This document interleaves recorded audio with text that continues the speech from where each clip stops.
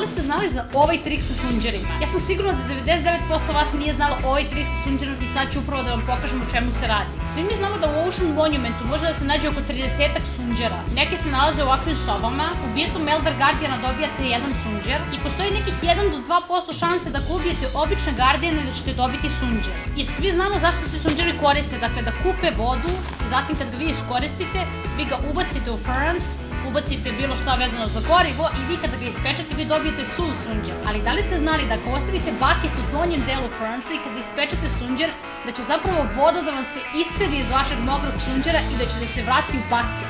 Obavezno mi napišite u komentarima da li ste znali za ovaj trik, subscribeujte se i zapratite me na Instagramu.